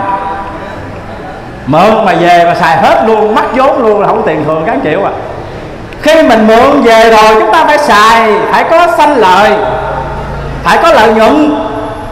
Đây gọi là trí huệ vũ sư. Mượn của thầy. Rồi khi mà chúng ta làm lời nhiều rồi, có kinh nghiệm rồi, có tư duy, lúc đầu còn học đọc lời đức thầy. Nhưng mà khi chúng ta có kinh nghiệm, có tư duy xong rồi, có lời rồi thì chúng ta mới trả lại cho đức thầy lúc đó gọi là trí huệ vô sư. Cho nên đức phật mới nói nè, suốt 49 năm nay như lai chưa nói một lời nào. Đó là trí huệ vô sư. Đức thầy có dạy làm sao? Chúng sanh mê nên đem pháp thuyết. Tại vì tôi và quý vị mê quá. Vô minh. Cho nên đức thầy mới đem cái phương pháp tu hành thuyết cho chúng ta nghe. Nhưng mà giải thoát rồi, pháp đức phải dùng. Tới đó chúng ta về bên tòa sen trả hết cái thầy hay quý vị à, thì đó là văn huệ. Phải học mới được. Không cần mà chúng ta nói chi mà xa giờ tới sấm giảng thế gian một cái người có học và một cái người vô học hai vấn đề này khác nhau rất là xa trong cách ứng xử như tôi nói hồi nãy. Mình trong nhà có hai đứa con một đứa học tới lớp 12 một đứa nó dốt. Thì đồng đạo thấy cái lời nói nói chuyện nó khác à. Một đứa thì cha cha mẹ mẹ dễ cưng lắm một đứa thì buông sắn cái đùng, sắn một cái râm vậy đó. Chịu gì nổi không? Phải không có gì như vậy thì người tu chúng ta cũng vậy. Cái người mà có độc giả, có học là đức thầy. Cái khuôn mặt người ta hiền lắm. Bởi vì tại sao người ta dẹp bớt ma lòng rồi, dẹp bớt sân si rồi, dẹp bớt phiền não rồi? Mà cũng đồng thời là một đồng đạo của mình. Nghe đâu ông này ăn chay mấy mươi năm. Nghe đâu ông này cúng lại dữ lắm à nhưng mà coi chừng nó động mà ông cũng không được à. á khó vậy lắm. Ủa, tôi nói, ủa, sao kỳ vậy ta? Đáng lẽ tu lâu dễ chứ, cái tu sao khó vậy? Mà thiệt đồng đạo à. Ở trong đạo mình có quan niệm, có một số đồng đạo tu lâu khó. Nếu mà ông nào mà tu lâu mà khó là ông đó tu trật. Tôi khẳng định một điều, tu trật. Ông tu lâu chừng nào mới dễ, chừng đó ông dễ ông dễ thương giống như ông phật chứ nhìn ông là thương liền còn đằng này nhìn ông rồi, thấy năm rút nó nổi ra, thấy ông chàng có cái áo bà ba bên ngoài, có cái gì đâu chàng có vỏ bọc bên ngoài thôi, có gì đâu. Thì vậy đồng đạo tu vậy sao phật rước được? Tu vậy à, đức thầy gặp đức thầy chê, bây giờ đức thầy chê bởi vì nữa sao lọc lại dứt tỳ cũng chê. Dứt tỳ mà còn chê kìa hú hồn chứ đụng tới không được. Ha, cho nên liệu gì chúng tôi chỉ đưa ra vậy chúng ta thấy rõ. Chúng ta sẽ có một cái à, bài toán chúng ta sẽ nhận diện được cái người có học và cái người vô học như thế nào. Thì khi mà chúng ta có học xong rồi, giả sử bây giờ đồng đạo đọc một câu giảng, ủa, sao đức thầy nói câu này sao ta? Hạ quân này đã hết đời là sao đấy? Hạ quân là cái gì? Hết đời làm sao? Chúng ta có học, mình mới có tư duy. Mình mới có suy nghĩ. Mà nếu chúng ta có tư duy, chúng ta mới có suy nghĩ thì chúng ta mới phát được trí tuệ mà thầy đã dạy rồi, phải tập suy gẫm cho mở trí. Nếu chúng ta không, tư duy không suy gẫm là trí tuệ chúng ta không bao giờ mở. Cái viên ngọc, sở dĩ nó được lấp lánh, nó trở thành vật quý, nó đầu ra có phải là viên đá không? Viên ngọc, nó xuất thân từ viên đá. Vậy thì từ viên đá này được ông thợ, ông mài nè, ông vũa nè, ông đánh bóng nè từ từ, nó lấp lánh, nó đẹp ôi thôi, hết sức đẹp. Vậy thì tôi và quý vị vốn vậy là viên đá nè. Mà viên đá này nó xấu lắm, nó sừng sùn nó khó coi lắm. Mà nhờ là hôm nay chúng ta học đọc là đức thầy, chúng ta tư duy, chúng ta mài dũa. Giống như là thầy dạy ngọc nhờ lau ngọc nó rạng rồi kim mài dũa, kim kia mới bén. Thì từ một cái viên đá bình thường này, từ viên ngọc bình thường. Chúng ta mài mài đến nó bén lên rồi nó sáng lấp lánh ta bây giờ tu niệm tầm thường sao danh thể xả hương khắp chốn? Rất rõ ràng đức thầy giải rất rõ ràng. Kính thưa đồng đạo nó không hết. Cho nên à, mong rằng tất cả chúng ta muốn bước vào con đường giải thoát thì phải nghe lời đức thầy giải mong sanh chúng học điều thông thái. Có học điều thông thái rồi chúng ta mới rèn tâm lành bác ái châu trí mà nếu chúng ta chưa học mà chúng ta rèn lấy gì rèn? Lấy gì rèn? Thì coi chừng chúng ta đi lọt ra ngoài sâu mà thầy dạy là khá chí tâm học hành kinh sám thoát mê miền hạt ám không ba. Chúng ta phải học hành kinh sám. Mới thoát mê miền hạt ám không ba được. Mà chúng ta không học hành kinh sám thì ở đây luôn đi. Đâu có thoát được.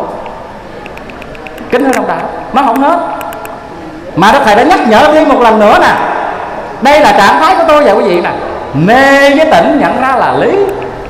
Thấy dương trần ngủ mãi ngủ hoài thức dậy mà tầm đạo kiếm bài, để thi cử khỏi mang tiếng đế rất rõ ràng, ha không hết. Cho nên thôi, giờ chúng ta cho qua cái đó. Vì vậy cho nên bất cứ một người nào muốn đạt được cái gì đó, thì phải đổ vốn, phải có sự đầu tư. Trí huệ cũng vậy, đời tu cũng vậy, chúng ta cũng phải có sự đầu tư. Cho nên giờ này mình cứ đầu tư là được thầy. Chúng ta tư duy, chúng ta mài mò, chúng ta tìm hiểu thì tôi tin chắc rằng trong cái mảnh tâm hồn của mình đó nó không còn trống. Lúc trước cỏ gác nó mọc hoài, lúc trước phiền não giận hờn, nó nó nó nó nó nó mọc hoài mà giờ này chúng ta bận rồi. Bận làm gì? Bận đọc giảng thầy. Bận nhớ là đức thầy. Cho nên chính vì vậy mà phiền não đâu có chỗ mọc lên. Ma vương đâu có chỗ khởi lên. Thì lúc bây giờ chúng ta đạt huệ thôi. Rất rõ ràng. Mà thầy đã dạy là khá chí tâm học hành kinh sáng. Đó là người ám môn ba như tôi nói. Rất rõ. Hay hoặc là ta yêu chúng viết ra giảng kệ. Đức thầy thương chúng ta phải viết là kệ giảng khuyên tăng đồ cùng các tín đồ. Nghe cạn lời. Cho con mà hồ. Vậy thì nghe cạn lời là văn huệ. Tìm hiểu nghĩa. Là tư huệ. Làm theo đắc đạo. Làm tu huệ. Đâu có gì lạ, đâu có gì. Thì đó là chúng ta thông qua cái phương thiền thứ nhất. Cái môn thiền thứ hai không ngoài giới định huệ. Đây là tam vô lậu học. Tất cả nhà tu trên thế gian này đây là căn bản nhất phải thông qua như vậy thì sở dĩ chúng ta tâm chúng ta đục trong tâm chúng ta già, tâm chúng ta xấu đi, nhân phong tầm diện, thì do đâu? Do sống trần. Vậy thì hôm nay chúng ta giữ giới luật là một cái phương pháp để chúng ta ngăn sống trần. Mà đức thầy dạy là cần nhất ở chỗ giữ giới luật hàng ngày. Cần nhất nha. Điều này điều cần nhất à không phải là điều tầm thường chi cho bằng ta sớm lo toan, gìn giới luật nghe kính trọng phật. Đến lâm chung quả lành đâu mất cõi tây phương chư phật để chở. Cho nên thầy mới dạy là việc tu thân thiện tính hưởng hờ, chừng quả đến nó chỗ có tránh nè. Kính nó đồng đạo. Như vậy thì trong cuộc đời tu của mình, đồng đạo làm ơn giùm tôi phải thuộc tám điều trong cấm. Đồng đạo làm ơn giùm tôi kiểm tra lại thân khẩu ý của mình, coi coi mình có phạm không. Nếu mà phạm chúng ta phải đóng lại, chuyển hóa lại từ từ là chúng ta phát sanh trí huệ. Bởi vì sở dĩ chúng ta không phát sanh trí huệ là do cái này nè, do cái chúng ta phạm nè. Vậy thì giờ này chúng ta lấy tám điều răng cấm ra để làm một cái khuôn mẫu. Điều nào chúng ta làm xong thì mình mừng, điều nào chưa xong thì chúng ta tiếp tục trao sữa thì một ngày nào đó chúng ta đạt ở chỗ trọn lành, trọn sáng ở điều thứ 8 thì trọn lành, trọn sáng là chúng ta đạt được trí tuệ rồi. Trọn lành là chúng ta tu theo phương pháp mà đầu đồng đạo bạch lê nó trình bày về phước và trọn sáng là chỗ ngay cái gốc cái này. Chúng ta đạt được trí tuệ khi chọn lành, chọn sáng là nhân rồi, kết quả là gì? Về nơi cõi tây phương an dưỡng. Chắc ăn. Lúc bây giờ chúng ta phải nói rõ, đầu tư đúng chỗ kính thưa đồng đạo thì nó không hết. Như vậy thì ngoài việc chúng ta giữ giới tâm định, đúng với câu là định tâm thần như mặt nước hồ. Thì khi giữ giới cái tâm định thì lúc bây giờ trí huệ phát khai. Bên cạnh à, giới định huệ ra một vấn đề mà chúng ta cần phải bàn tiếp theo đó là chúng ta phải bắt sâu. Chúng ta phải diệt ma lòng bởi vì cũng tại những cái con này nè mà nó làm cho chúng ta dấy khởi những cái cơn phải nói rõ là sóng thần. Động đất ở trong cái mảnh tâm hồn của chúng ta để rồi chúng ta phải à, ra những cái hành động à, ra những cái lời nói phạm vào nghiệp để rồi chúng ta đền trả cái đồng đạo. Như vậy tại sao gọi là xấu? Bởi vì căn cứ mẫu chuyện bên thầy lúc bây giờ có một cái vị này tên là Nguyễn Thị Ngọ. Cô là vợ của à, thông phán tòa của châu đốc. À, lúc trong những năm đầu mở đạo lúc có thầy ở tại à, tổ đình thì cô đến cô thăm thầy. Cô mới à, trong lúc thầy đang thuyết pháp đang phát phù đang trị bệnh thì thầy cô mới buộc miệng hỏi gì à, thưa thầy nhờ thầy cho con biết ờ, tu ờ, như con vậy ờ, chừng nào đạt huệ. Thầy chỉ nói gọn một câu à nếu bà muốn đạt huệ thì bà phải bắt sâu. Nói vậy đó mà cô này có hiểu. Gì nói đến à, bắt sâu để đạt huệ rồi đồng đạo chúng ta lại nghĩ khác. Bởi vì trong toàn bộ sách tiếng đức thầy đó thầy viết ở chỗ sâu này là hai chỗ nè lúc trồng rẫy đuổi diều sâu bọ, rồi ngẩn ngơ bỏ giống hay sao trong bài sa đéc mà ta là nấu lọc rành mới biết vàng thao ai thật, tánh ai người. Là giả đạo. Như vậy thì sau này là khác nha. Đức thầy đang nói hoàn cảnh đức thầy đức thầy khai đạo mà cứu đời giống như cái người đang trồng rẫy vậy đó. Thì đương nhiên phải có sâu nơi nào có phật này đó có ma. Điều đó điều đương nhiên một cái quy luật rồi. Vì vậy nên người pháp là sâu tai sai cho pháp là sâu? Những cái bọn sâu dân một nước họ sợ đức thầy. Phá hỏng cái hoạch của họ cho nên họ mới dời đức thầy đi. Cho nên thầy nói là rồi ngẩn ngơ bỏ giống hay sao? Nếu mà lúc này thầy chán nản thầy bỏ thì mất giống cho nên à, dầu gian lao giả sắc nhân sờn miễn sanh chốt trong đường giải thoát à. À, đức thầy không sợ cực khổ yêu cầu dựng được cái đạo thôi thì đây là trường hợp sau này sau khác. Rồi trường hợp thứ hai là diệt cho phật những loài sâu bọ giống hại người lúc bỏ để trồng.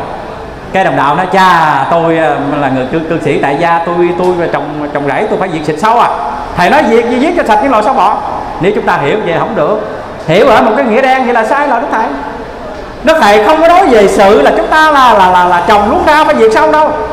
Mà ý đức thầy muốn nói là tâm của mình đó con sâu trong tâm đó con sâu bên ngoài còn biết được con sâu da láng con sâu xanh, con sâu đỏ, con con con, tôi cũng không có rành lắm cái con này, quý vị chắc rành hơn tôi, vậy là nhà nông rành hơn tôi. Còn mà con sâu trong tâm á, không nhận gì được nó. Nó ăn tiêu hết trơn mà chúng ta chưa hay, nó gì kính thưa đồng đạo về đức thầy dạy, cái này là thầy giống như thầy dạy con nguyễn thị ngọ, phải giết cho sạch những loài sâu bọ giống hại người lúc bỏ để trồng, mà giết xong thì sao? Huệ tâm cái ngữ chuyển, quyền thông sanh hồi thiện, đó có thành thật mà thầy giải rất rõ trong cái bài tròn tham tá ngà non hết. Như vậy thì à, chúng ta bắt sâu bắt sâu là sâu tâm nha. Không phải là sâu ở ngoài ở ngoài cái clip ra ngoài đâu.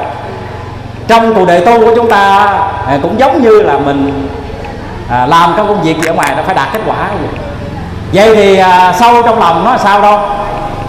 Nó có thiên hình dạng trạng tức là những cái nguồn tư tưởng nào nó phá hủy cuộc đời tu.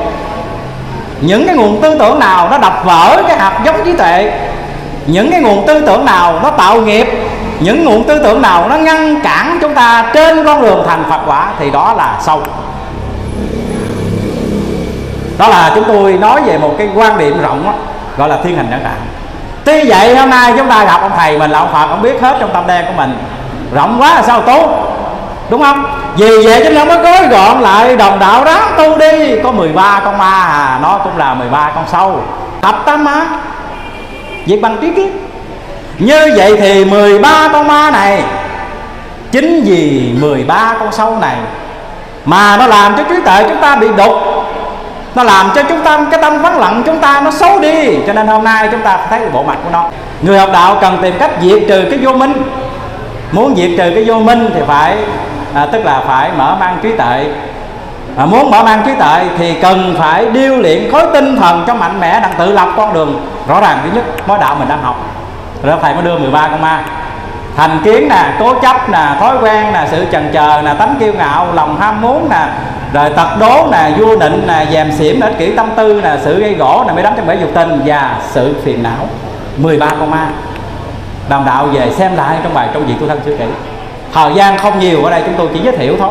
13 con ma nếu như mà tâm chúng ta còn 13 con ma còn gọi là 13 con sâu này đó, thì đừng mong mà chúng ta, đừng mong mà chúng ta đắc được. Quả vậy đừng mong chúng ta đắc đạo làm sao có trí tuệ được? Cái người trí tuệ gì mà còn thành kiến, còn cố chấp, còn thói quen, còn trần chờ còn tấm kiêu ngạo, không có. Những cái tật xấu này không có trong cái người trí, mà những cái tật xấu này nó rơi vào ở cái chỗ những người vô minh vì vậy cho nên đức thầy mới đưa thêm một cái phương hướng tiếp theo đó. Là về cái bài môn hoàng diệt nếu ta tìm con đường bắt chánh đạo của Phật mà đi giữ tâm thanh tịnh làm việc nhân từ, không lòng hờn giận, chẳng dạ ghét ganh chuyên tâm, niệm Phật kiếp tế độ đời.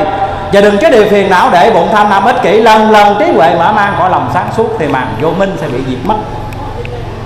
Vô minh diệt thì hành diệt hành diệt thì thức diệt thức diệt thì lục nhập diệt lục nhập diệt thì xúc động diệt xúc động diệt thì thọ cảm diệt thọ cảm diệt thì ái diệt ái diệt thì thủ diệt thủ diệt thì hữu diệt thủ diệt thì sanh diệt sanh diệt thì lão tử diệt mà lão tử diệt thì sao ấy là giải thoát vậy trong môn hoàng diệt thầy dạy quá rõ rồi tôi chỉ giới thiệu tôi nghe chứ tôi làm chưa có được tôi giống như quý quý vị đang học đó nghe học mà còn chặt lên chặt xuống nữa kìa cho đừng để mà làm. Mà nói vậy thì đừng có nản lòng. Đừng nói thôi không làm được, nghỉ luôn đi. Vậy thì mất giống rồi. Nếu mà nghĩ luôn là cái giống phật tánh chúng ta không còn. Cái công phu niệm phật, công phu cúng lại, công phu làm từ thiện nữa đài mà giờ này chúng ta làm được bỏ luôn là mất giống. Vì vậy đồng đạo an tâm. Thêm một cái phương pháp sau cùng cái phương pháp này đồng đạo hành trì để tôi bảo đảm với đồng đạo là không có còn ma tà không còn sâu xia gì trân trọng phương pháp này giống như nước cam lồ chúng ta tưới lên miếng rẫy của mình. Không còn con sâu nữa. Lòng chúng ta sáng cũng như phải nói rõ là tạo như nhật nguyệt thì nó không có còn một cái cái, cái bóng ma nào dám chứ. Quý vị biết ma sợ gì không quý vị cô? Ma sợ gì cô? Ma nó sợ phật. Phải không quý vị? Mà sâu nó cũng sợ đó sợ ánh sáng mặt trời. Tôi nói gì sự nha. Thế tôi biết là vậy đó. Ông trời ông nắng lên là sâu trốn à? Đúng không à, quý chú ở đây quý vị mà làm ruộng gì không tôi? Cho nên thường thường ngày người ta xịt sâu xịt vào sáng sớm hay chiều mát. Ha? Cho nên à, phe này à, cái cánh này à, mình nói cánh này đi cái nhóm này nó làm gì cái ban đêm? Nó phai bóng tối à. Nó gặp ánh sáng nó sợ không mà nếu như tâm chúng ta tối thì là là cơ hội cho nó phát triển. Đúng không? Mà tâm chúng ta sáng rồi thì nó không có chỗ dung thân. Chứ giờ chúng ta đem ra 13 con ma 13 con sâu nào thành kiến cố chấp, thói quen, chặt chờ, sự chần chờ lòng ham muốn đó, diệt trừ phải là dễ. Nói nhiều quá không hiểu không hiểu, nghĩ tu luôn. Phải không có gì? Vì vậy cho nên một cái phương pháp sau cùng, đó là tịnh độ. Đồng đạo nhớ uống cho tôi 6 viên thuốc bệnh gì cũng hết lục tự trì tâm là phương phép. Nhắn nhủ cùng ai có mấy lời mà đức thầy đã cho nguyễn kỳ trân rất rõ ràng. Không tin tôi gì làm thử đi. Bởi vì khi mà tâm chúng ta niệm nam mô a di đà phật, nam mô a di đà phật, nam mô a di đà phật, không có con ma nào xuất hiện hết. Sở dĩ chúng ta ít niệm phật, chúng ta niệm phật không tin chuyên. Chúng ta còn để cái chỗ trống. Tính vì cái chỗ trống đó mà ma nó có cơ hội nó xuất hiện nếu như trong lúc nào trong lòng chúng ta cũng có ánh sáng, lúc nào trong lòng chúng ta cũng có mặt trời trong hết. Sáng phải đó là bất tận, thì sâu nó cũng không còn. Sở dĩ có sâu là do ban đêm. Nếu không có sâu á, không có ban đêm, không có sâu đâu bảo à. Nó sợ ánh sáng lắm. Hãy nó gọn vậy à?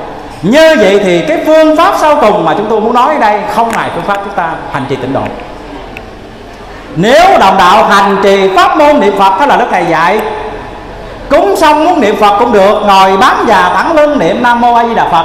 Hay niệm nam mô tây phương cực lạc thế giới tam thập lục dạng đất nhất thập nhất dạng của thiên ngũ bá đồng danh đồng hiệu đại từ đại bi phổ độ chúng sanh a di đà phật. Ba bảy chữ. Như vậy thì khi mà chúng ta cúng xong Chúng ta dành thời gian 10 phút, 15 phút, nửa tiếng, 60 phút gì đó chúng ta ngồi niệm Phật. Thì lúc bây giờ, nhìn cái tướng là chúng ta đang ngồi thiền, đúng không? Về sự về sự chúng ta đang ngồi thiền, Mà thật chắc ra về tâm chúng ta cũng đang thiền nữa cái gì. Thiền này không phải tư duy một vấn đề nào lạ lắm lắm. Thiền này cũng không cần phải đợi học thông suốt nhiều môn. Mà thiền này tôi chỉ thiền duy nhất sáu chữ nam mô a di đà phật. Tâm tôi trong thời gian ngồi thiền này, ngồi niệm phật, vì cho phép tôi gọi là ngồi thiền mà chúng ta đang bàn ở thiền tịnh sông tu như vậy thì trong thời gian ngồi niệm phật nó giống như đang ngồi thiền. Tâm chúng ta lúc nào cũng chuyên trì câu lục tự nhưng ngặt một nỗi, ngồi thiền, còn ngồi nửa tiếng 15 phút niệm phật ngon lành lắm. Mà khi xả rồi thì cũng quên niệm phật luôn. Vì vậy cho nên cái phương pháp này chỉ hữu dụng ở cái giai đoạn sơ cơ, cái giai đoạn ban đầu. Vì vậy muốn đạt được cái giai đoạn cao hơn nữa, thầy dạy chúng ta là sáu chữ. Đồng đạo nhớ dùm tôi sáu chữ nghe, bỏ chữ không được đó. Chứ hưởng hồ chuyện nó bốn chữ, hai chữ là tôi không biết à. Mà mốt thầy về chuyện đó khác rồi nghe. Tại sao thầy dạy sáu chữ mà chúng ta lại niệm bốn chữ? Niệm thêm hai chữ có tốn một bạc nào đâu. Có tốn miếng công nào đâu. Tôi cho đồng đạo niệm một ngàn câu đó, tôi niệm năm câu cũng được. Nhưng mà niệm nào nó chắc cái điểm đó. Chúng ta niệm phật cần là chất lượng, không có cần số lượng. Đâu phải chúng ta thi đâu, ai niệm phật nhiều thầy cho cái này. Ai niệm phật ít thì ờ, thầy cho ít, ai niệm phật nhiều cho nhiều, đâu phải không dễ có người niệm phật cả đời, nhưng mà miệng thì niệm phật, lòng thì tà giam thì ai mà cứu được? Phật bắt cứu gì tâm còn á niệm vậy có được gì đâu. Về vậy nên hành giả muốn niệm phật ở đạt ở chỗ mà diệt ma đó khoan khoan, nói này. Niệm phật bằng miệng ở ngoài đó. Niệm gì mấy con ma nó mừng. Bởi vì mình niệm mình niệm ngoài mà đã trong lòng không niệm thì giống như nó đang, mình đang nuôi nó. Đang nuôi nó nó mừng lắm. Như vậy thì chúng ta phải niệm phật trở về nội tâm. Lúc cầu nguyện và niệm phật, chỉ niệm trong tâm. 10 chữ này đồng đạo làm ơn ghi nhớ giùm tôi. Lúc cầu nguyện và niệm phật, chỉ niệm trong tâm. Bởi vì chúng ta có niệm trong tâm tâm chúng ta mới phát huệ. Còn chúng ta niệm ngoài khẩu của chừng chúng ta phát quạo. Phải không quý vị? Đang niệm phật vậy, đứa nào nói chuyện lớn tiếng chút bức đứt cọc lên. Bởi vì chúng ta đang niệm ngoài tướng mà. Niệm phật làm sao trở về tâm? Mà lỗ tai nghe. Nghe cái gì? Nghe nam mô a di đà phật. Vì vậy cho nên cái quan trọng muốn nói là sáu chữ là hình thức. Đi vào chân lý là niệm trong tâm như vậy thì ở đây nó rời xa hơn, đạt kết quả cao hơn, chúng ta ngồi hồi nãy. Bởi nhiều khi đồng đạo lúc ngồi thì niệm mà chúng ta không ngồi, mình nghĩ niệm. Vì vậy đó thầy mới dạy là sáu chữ nam mô a di đà phật, đi đứng nằm ngồi ráng niệm chớ quên. Không đợi gì thời khắc. Đây là cái phương pháp mà thầy đưa ra phương pháp này là phải nói là tiêu diệt cái bọn ma quân hết. Lúc nào cũng thắp lên ánh sáng hết trơn. Lúc nào cũng nhớ phật hết trơn thì má đâu có còn nữa. Bởi vì thầy dạy còn phương pháp niệm phật là để trừ đi cái vọng niệm chúng sanh. Vì trong tâm chúng vì trong tâm chúng sanh niệm niệm mê làm chẳng dứt. Vì cái vọng niệm về việc thế trần ấy mà không làm cho cõi lòng an lạc phiền não ngăn che, à, chân tâm mà ảo nên nay hãy thành tâm niệm phật thì nếu được một niệm phật ắt lìa một niệm chúng sanh. Cái chữ ắt là nhất định như vậy đó chữ ắt đó. vậy thì nếu niệm một niệm phật nhất định tôi nói cái nghĩa nha nhất định sẽ lìa được vọng niệm chúng sanh mà niệm niệm phật thì lìa được tất cả vọng niệm chúng sanh. Mà lìa hết vọng niệm chúng sanh thì lúc bây giờ tâm chúng ta bừng sáng là còn gì nữa. Thắp được cái ngọn đèn nhật nguyệt đâu lúc bây giờ lòng trong thánh kệ tình bế lỗi đâu lúc bây giờ là giả sạch phật kinh lý luyện bái đâu sở dĩ lòng không trong, giả không sạch, là do đâu? Do vọng niệm chúng sanh. Do cái bọn này nè do ma nè do sâu nè vậy thì hôm nay khi chúng ta có niệm phật là chúng ta đang bắt ma. Đồng đạo chuyên trì niệm phật, ráng trì tâm tưởng niệm cánh thâu. Nằm đi đứng hay ngồi chẳng chấp là tôi tin chắc rằng chúng ta niệm phật chừng nào tâm chúng ta sáng chừng đó. Kính thưa đồng đạo, niệm phật chừng nào tâm chúng ta sáng chừng đó. Bởi vì không có giai đoạn nào sáng bằng giai đoạn chúng ta nhớ phật, tưởng phật. Cho nên pháp môn tịnh độ của thầy dạy nếu chúng ta chi tiết ra thì đây là một phương pháp gọi là thiền, gọi là thiền trong tịnh độ. Vì cho phép chúng tôi đổi từ ngữ một chút, thiền trong tịnh độ theo cái hiểu của chúng tôi. Tịnh độ đó là đức thầy đức thầy dạy rất rõ đó là thiền trong tịnh độ. Đức thầy không câu nệ hình thức, chỉ cần hành giả có tu, có niệm phật, có làm lành là có đắc quả. Có niệm phật, có đạt kết quả. Kính thưa đồng đạo, vì vậy cho nên niệm phật ngoài cái việc chúng ta vừa đạt được trí tuệ ra, niệm phật còn giúp cho chúng ta có được phước đức. Về chỗ nào niệm phật đạt trí huệ đâu. Đáng lẽ ra khi nói về chánh tư duy thì đây là thiền, đại thiền, trong mắt chánh đạo. Mà đức thầy cho chúng ta biết rất rõ là hãy tưởng nhớ những điều đáng nhớ. Trên cùng dưới giàu thầy hay tớ cũng tưởng đều trung chánh mấy màu việc vui sai mèo mã đâu đâu hãy dẹp gác nhớ câu luật tử. Bây giờ muốn dẹp gác điều tà vậy này chỉ có cách niệm phật thôi. Một phương pháp đối cơ đệ nhất, dị hạnh đệ nhất, cứu cánh đệ nhất, động độ đệ nhất. Ở thời thời buổi cuối cùng này, chỉ có pháp môn tịnh độ là siêu diệt hơn hết. Và chỗ nào thầy dạy niệm phật được sát tâm đâu thì xin thưa thầy dạy rất rõ là cư gia tịnh độ tâm viên mãn. Khi mà chúng ta chuyên trì niệm phật đến chỗ nhất tâm bất loạn khi mà lũ ma quân 13 con ma hồi nãy, khi mà sâu bọ không còn, thì cái miếng vườn, cái miếng ruộng, cái miếng rẫy chúng ta lúc bây giờ nó tốt đẹp. Tâm chúng ta nó sáng, kính thưa đồng đạo, tâm chúng ta nó sáng. Thì lúc bây giờ rõ ràng là chúng ta chúng ta được trí huệ rồi. Vậy thì trở lại. Như vậy thì hôm nay khi mà giới thiệu về tịnh độ, thì chúng ta phải biết được tịnh độ Phật giáo Hòa Hảo gói gọn một phương pháp thiền. đó chúng ta đang niệm Phật, đang nhớ Phật là chúng ta đang thiền đó. Chúng ta đang thắp lên cái căn nhà tối của mình. Trong tâm của tôi dạo vị là một căn nhà tối à. Tại sao không tối nữa? Mở lớn lên tập nhiễm lệ danh. Nên tật xấu cha mờ thiện tánh, căn nhà tối còn gì nữa. Vậy thì hôm nay khi niệm một câu phật là thắp trên một ngọn đèn. Niệm hai câu phật là thắp lên hai ngọn đèn. Niệm ba câu phật, thắp ba ngọn đèn. Vì cứ niệm hoài cho tôi, có niệm phật là có đạt kết quả. Niệm ít thì đạt ít. Niệm nhiều thì đạt nhiều nói gì cái lòng tham nổi lên nữa. Tôi đâu chịu tu thấp đâu. Dễ quá mà. Nam mô a di đà phật, nam mô a di đà phật dễ quá mà dạy gì niệm ít. Cho nên từ đó bắt đầu chúng ta niệm nhiều niệm nhiều. Từ ở giai đoạn niệm ở trong tứ tướng, đến một góc độ nhất tâm bất loạn. Tứ tướng là một cái nền tảng. Đi đứng nằm ngồi đáng niệm cho quên là cái nền tảng. Ráng trì tâm tưởng niệm canh thâu là cái nền tảng. Để chúng ta đạt nhất tâm bất loạn. Và khi từ ở trạng thái đạt nhất tâm bất loạn thì lúc bây giờ chúng ta đạt được cái cái bản lai thanh tịnh. Mà khi niệm đạt là bản lai thanh tịnh là cái người này hoàn toàn đạt được trí huệ bát nhã ba la mật đa quý vị đáo bị ngại đến đây là rõ ràng chúng ta niệm phật đến chỗ là không còn niệm. Lúc này thì vốn liếng thì trả hết cho thầy rồi đó. Khi niệm mà đến chỗ là là là, là bản lai thanh tịnh là chúng ta trả hết vốn liếng cho thầy. Hồi nãy còn mượn vốn. Nãy giờ tôi dạo gì mượn vốn giờ làm giờ có lợi gì quá nhờ niệm phật có lợi quá phải không quý vị? Bởi niệm phật, phước sanh vô lượng. Cái chỗ nào niệm phật phước sanh vô lượng đâu? Thầy dạy là cứu khổ nam mô vô lượng phước. Hôm nay chúng ta niệm phật là phước sanh vô lượng. Vì vậy cho nên khi đạt được cái trạng thái đến bản lai thanh tịnh, lúc giờ chúng ta trả hết vốn lời cho thầy. Chúng ta đạt được trí huệ vô sư, chúng ta có được trí huệ bát nhã rồi. Đáo bị ngạn là tức là chúng ta trở về với cái bản giác của mình rồi. Trở về với bản lai thanh tịnh của mình. Thì lúc bây giờ chúng ta sáng tăng lúc bây giờ là phải nói rõ là, là, là, là tâm chúng ta như vần trân dục nguyệt nó không hết.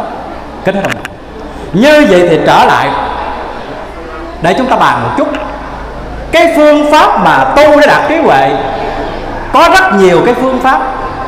Nào là văn tư tu nào là giới định huệ nào là chúng ta phải sống trong tỉnh thức nào là chúng ta phải biết được ma lòng phải nhận diện được những cái cái bọn sâu bọ cái bọn ma quân nơi lòng của mình nào là chúng ta phải quán sát mình từ giây, từ khắc. Cực kỳ khó. Vấn đề mà chúng ta bàn là vấn đề bồ tát hạnh.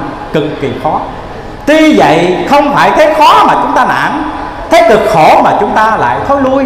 Nếu giờ này chúng ta thấy khó mà nản thấy cực khổ chúng ta không làm, thì một ngày sau này chúng ta đừng hối hận, bởi vì lúc bây giờ giống lý nó mất hết rồi. Cái giống phật tánh không còn. Do đó cho nên trở lại muốn đạt được trí huệ từ ở một trí huệ ngũ sư, đạt trí huệ bát nhã ba la mật đa đến trí huệ vô sư, thì một phương pháp có trong tất cả phương pháp đó là chúng ta trì câu lục tự. Kính thưa đồng đạo chúng tôi nghiên cứu kinh điển cũng thời gian cũng khá dài. Có thể trong cuộc đời tôi của tôi tôi tóm kết lại một câu, không có phương pháp nào bằng pháp môn tịnh độ. Cho nên hảo nào thầy mới cho biết là lòng thương chúng thiết phương tịnh độ bởi vì có thiết phương tịnh độ mới đặng dắt dìu tất cả chúng sanh được.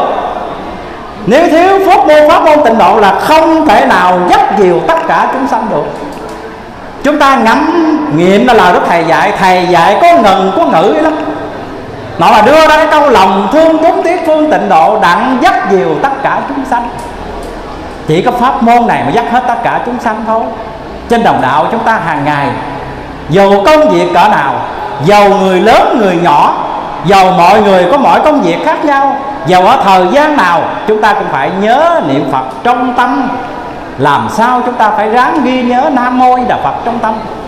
Ngoài cái việc tâm chúng ta suy nghĩ việc làm ăn suy nghĩ trong cái việc cư, cư xử ra đối xử ra thì chúng ta phải trở về tâm.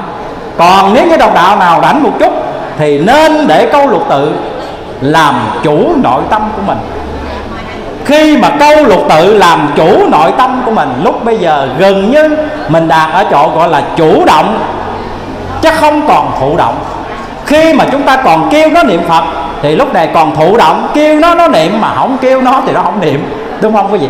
Như vậy thì đó là giai đoạn bắt đầu. Phải đi đến giai đoạn là chủ động. Giai đoạn mà gần chúng ta không kêu nó niệm phật, mà lúc nào nó cũng niệm, thì lúc đó là trí huệ chúng ta phát khai, còn gì nữa quý vị? Lúc bây giờ chúng ta là người tại giá cư sĩ, hành trì phong tinh độ. Và lúc bây giờ chúng ta đã được tâm viên mãn. Tâm viên mãn rồi đó. tâm viên mãn là tâm tròn đầy, tâm được đại trí tuệ không phải là trí tuệ nhỏ, thì nó không hết. Cho nên chúng tôi mong rằng tất cả đồng đạo nơi đây, khi nghe qua cái chuyên đề tu huệ, thì chúng ta cũng phải hiểu được, nhận diện được cái cách ứng xử, cái diệu dụng của trí huệ để rồi mỗi đồng đạo chúng ta tranh thủ đầu tư vào đấy để chúng ta có được trí huệ để chúng ta đạt được cái kết quả sau cùng đó là mãn kiếp hồng trần sanh lạc quốc, hưởng công niệm phật rất yên lành. Kính thưa đồng đạo. Thì à, kính thưa quý vị thì cũng à, trên dưới à, cũng khoảng một tiếng 15 phút. 75 phút.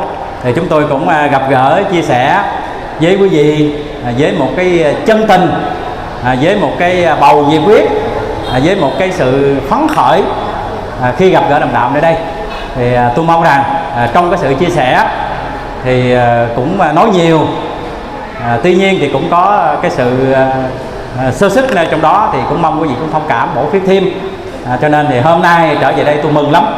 À, đáng lẽ nói một tiếng hồ à mà cũng vì quý vị đã tiếp lửa cho tôi là cái động lực mà chúng tôi phải cố gắng à, triển khai à, theo hiểu biết của mình với một cái góc độ thì cầu mong rằng à, tất cả chúng ta sẽ được giải thoát. Thì cuối cùng thì chúng tôi cũng xin chân thành cảm ơn là ban tổ chức tạo điều kiện thuận lợi cho giáo viên chúng tôi làm nhiệm vụ. Cảm ơn tất cả đồng đạo. Nơi đây đã dành thời gian à, trong suốt cái buổi sáng hôm nay à, để cùng chúng tôi đồng hành à, trên cái con đường dĩ nghiệp của tổ thầy mà tất cả chúng ta là à, để người đệ tử và chúng ta có trách nhiệm dung quét thì à, cuối cùng à, chúng tôi cũng à, à, không quên à, cầu chúc cho tất cả đồng đạo chúng ta cố gắng niệm Phật để đạt được trí tuệ cố gắng niệm Phật để đoạn trừ nghiệp chướng để cuối cùng chúng ta hưởng được cái quả gì mà thầy dạy rằng, kiếm huệ, rước xong rồi quả báo, lo gì, cửa phật, chẳng chen vào. Trân trọng kính chào. Nam mô bổn sư thích ca mâu ni phật. Nam mô a di đà phật.